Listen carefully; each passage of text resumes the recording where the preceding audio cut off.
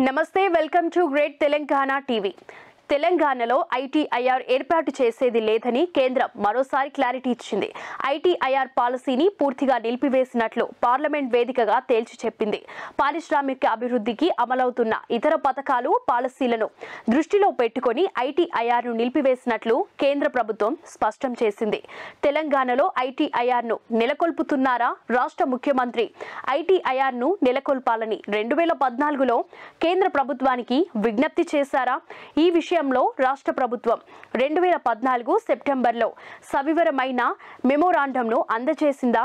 రెండు వేల పదహారు జూన్లో ఐటీఐఆర్కు సంబంధించిన సమగ్ర నివేదికను పంపించిందా? ఆ తర్వాత ఐటీఐఆర్ ప్రాజెక్టు కోసం రాష్ట్ర ప్రభుత్వం ఎన్ని మార్లు విజ్ఞప్తి చేసింది?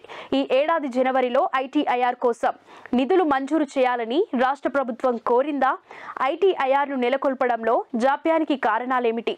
అంటూ Chevella MP doctor G Ranjith Reddy లోక్సభలో కేంద్రంపై ప్రశ్నల వర్షం కురిపించారు. ఇందుకు ఎలక్ట్రానిక్స్ అండ్ కమ్యూనికేషన్ శాఖ సహాయ మంత్రి సంజయ్ దోత్రే బుధవారం లిఖితపూర్వక సమాధానమిచ్చారు. ఐటీఐఆర్ను రద్దు చేస్తూ గతంలోనే నిర్ణయం తీసుకున్నట్లు తెలిపారు. ఐటీఐఆర్ను పునరుద్ధరించాలని కోరుతూ తెలంగాణ ప్రభుత్వం మూడు సార్లు లేఖలు రాసిందన్న విషయాన్ని కేంద్ర మంత్రి బయటపెట్టారు.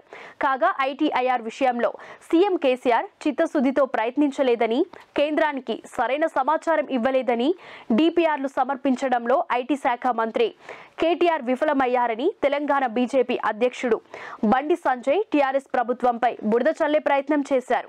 టీఆర్ఎస్ సర్కార్ వైఫల్యం వల్లే ఐటీఐఆర్ వెనక్కిపోయిందని కేంద్రంలోని తమ పార్టీ ప్రభుత్వాన్ని బండి సంజయ్ వెనకేసుకు వచ్చాడు. అయితే తెలంగాణ ప్రభుత్వంపై బండి చేసిన ఆరోపణలు అబద్ధమని పార్లమెంట్ వేదికగా తేలిపోయింది.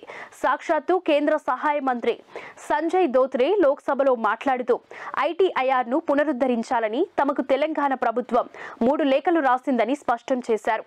కానీ information technology investment region ITIR విధానాన్ని కొనసాగించకూడదని కేంద్రం నిర్ణయం తీసుకుందని ఆయన తెలిపారు. అయితే దానికంటే మెరుగైన మరో పథకాన్ని అమలు చేయాలని తెలంగాణ మంత్రి కేటీఆర్ గత జనవరిలో చేసిన అభ్యర్థనను పరిశీలిస్తున్నామని కేంద్ర మంత్రి చెప్పుకొచ్చారు. ఐటీఐఆర్ ఏర్పాటు కోసం తెలంగాణ ప్రభుత్వం మూడు లేఖలు రాసిందని కేంద్ర మంత్రి ప్రకటించడంతో బండి సంజయ్ తెలంగాణ ప్రభుత్వంపై చేసిన ఆరోపణలు అబద్దాలే అని తేలిపోయింది. మరోవైపు ఐటీఐఆర్ను పూర్తిగా నిలిపివేస్తున్నట్లు ప్రకటించిన మోదీ సర్కారుపై తెలంగాణ ప్రజలు ఆగ్రహం వ్యక్తం చేస్తున్నారు. తెలంగాణకు అన్ని కేంద్రమే ఇస్తుందని బుకాయించే బీజేపీ అధ్యక్షుడు బండి సంజయ్ పై పెద్ద ఎత్తున విరుచుకుపడుతున్నారు. బండి ఇకనైనా నీ దొంగ నాటకాలు కట్టిపెట్టు.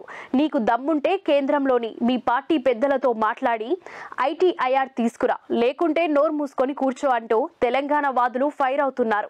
మొత్తంగా ఐటీఐఆర్ విషయంలో కేసీఆర్ సర్కార్పై బురద చల్లిన బండి సంజయ్ బాగోతాన్ని పార్లమెంట్ సాక్షిగా కేంద్ర మంత్రి బయటపెట్టడం రాజకీయ వర్గాల్లో హాట్ టాపిక్గా మారింది.